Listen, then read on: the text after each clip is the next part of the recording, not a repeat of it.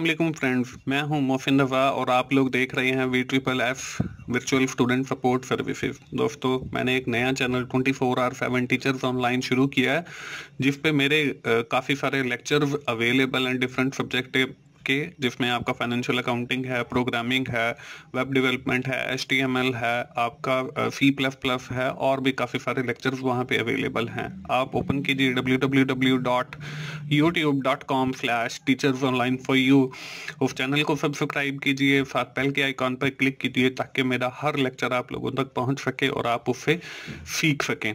दोस्तों, आज की जो मेरी वीडियो है, वो B N K six zero one banking laws and practice का जो हमारा क्विज नंबर वन आया हुआ है उस हवाले से है।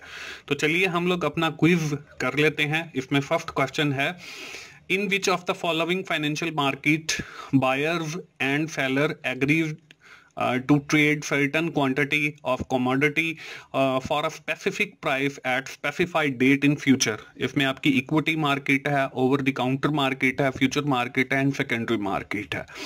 तो हमारी जो फ्यूचर मार्केट है मतलब इसमें जो थर्ड वाला है वो हमारे इस सवाल का बिल्कुल ठीक जवाब है। इसमें नेक्स्ट क्वेश्चन है जी a fixed maturity instrument that is sold by the bank to deposit is called इसमें बिल ऑफ़ एक्सचेंज है डिमांड ड्राफ्ट है अ सर्टिफिकेट ऑफ़ डिपॉजिट है अ सर्टिफिकेट ऑफ़ इफेट है। तो इसमें जो हमारा डिमांड uh, ड्राफ्ट है वो इसका बिल्कुल ठीक जवाब है मतलब सेकेंड वाला जो है वो इसका ठीक जवाब है। नेक्स्ट है जी which of the following is term as science of civil law इसमें ज्यूरिस प्रूडेंस है लॉ है लीगल सिस्टम है एंड लीगल ऑप्शन है। तो इसमें जो फ़र्स्ट वाला है ज्यूरिस प्रूडेंस हम उसे ही सिविल लॉ कहते हैं बेसिकली तो फ़र्स्ट वाला जो है हमारा ज्यूरिस प्रूडेंस ये हमारा बिल्कुल इसका ठीक जवाब है। नेक्स्ट क्वेश्चन है जी the most liquid and secured money market instrument is banker acceptance है गवर्नमेंट ट्रेजरी बिल है, इसमें गवर्नमेंट ट्रेजरी सिक्योरिटीज हैं और बिल ऑफ़ एक्सचेंज है। तो इसमें जो हमारा सेकंड वाला है गवर्नमेंट ट्रेजरी बिल्स ये हमारा बिल्कुल ठीक जवाब है। मतलब सेकंड वाला जो है, वो हमारे इस क्वेश्चन का ठीक आंसर है। नेक्स्ट है जी which of the following can be used by corporation to raise fund for financing their project इसमें बिल ऑफ़ एक्सचेंज है बैंकर एक्सेप्टेंस है कॉपरेट बॉन्ड्स है and none of the given option है। तो इसमें हमारा जो बिल ऑफ़ एक्सचेंज है, ये मतलब यूज़ किया जाता है to raise fund their project तो फ़र्स्ट वाला जो है, वो हमारे इस सवाल का ठीक जवाब है। तो दोस्तों, इस तरीके से हमारा ये पांचवा सवाल जो है, वो सॉल्व हो जाता है।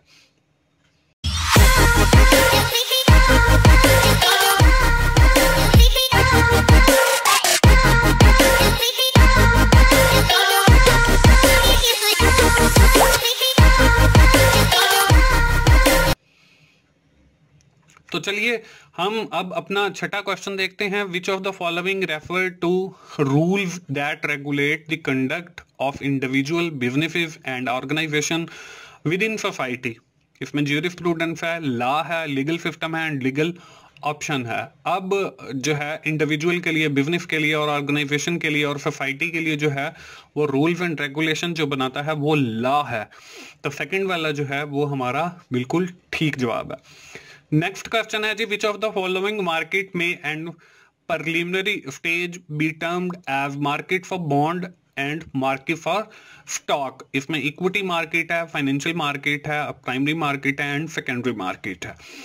अब इसमें जो है हमारा जहाँ पे बॉन्ड्स एंड स्टॉक का मतलब बिज़नेस हो और प्रलिमिनरी लेवल पे हो, बिल्कुल इनिशियल लेवल पे हो, उसको हम फाइनेंशियल मार्केट कहते हैं। मतलब इसमें जो हमारा सेकंड वाला है, वो इसका ठीक जवाब है। नेक्स्ट क्वेश्चन है जी which of the following refer to a the promise that the bank will pay the amount of funds indicate to the recipient इसमें बिल ऑफ़ एक्सचेंज है बैंकर एक्सेप्टेंस है रीपरचेज एग्रीमेंट है और euro dollar है।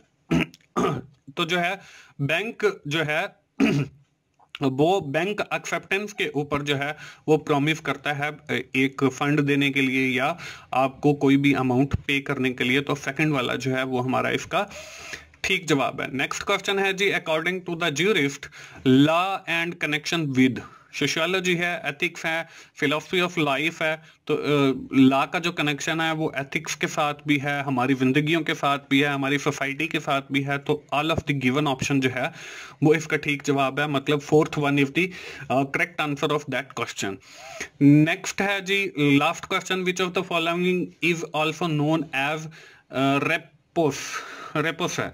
Bill of exchange है banker acceptance है, इसमें repurchase agreement है और यूरो डॉलर है। तो रिपस जो है, वो बेसिकली रीपरचेज एग्रीमेंट का दूसरा नाम है और थर्ड वाला जो है, वो हमारे इस क्वेश्चन का बिल्कुल ठीक जवाब है। तो दोस्तों, इस तरीके से हमारा क्विज जो है वो ख़त्म हो जाता है। दोस्तों, मैं फिर वही गुजारिश करूँगा कि आप YouTube dot com flash teachers online for you open कीजिए और मेरा channel twenty four R seven teachers online subscribe कीजिए जिसपे आपको काफ़ी सारे सब्जेक्ट्स के लेक्चर्स अवेलेबल हैं, जिसमें आपका C S one zero one है M G T one zero one है टू ज़ीरो वन है। M G T two zero one है एच टी एम एल है वेब डेवलपमेंट है जावा है ऑफ़िस से रिलेटेड लेक्चर हैं तो आप जाके वहाँ पे इन लेक्चर से भी फ़ायदा उठाएँ और मुझे सपोर्ट करें, जैसे आपने वर्चुअल स्टूडेंट सपोर्ट सर्विसेज़ में मुझे सपोर्ट और प्रमोट किया। दोस्तों, मिलते हैं अगली किसी असाइनमेंट या जीडीबी में या क्विज के साथ। उस वक्त तक के लिए मोहसिन भाई को इजाज़त दीजिए। थैंक यू वेरी मच दोस्तों। अल्लाह हाफिज।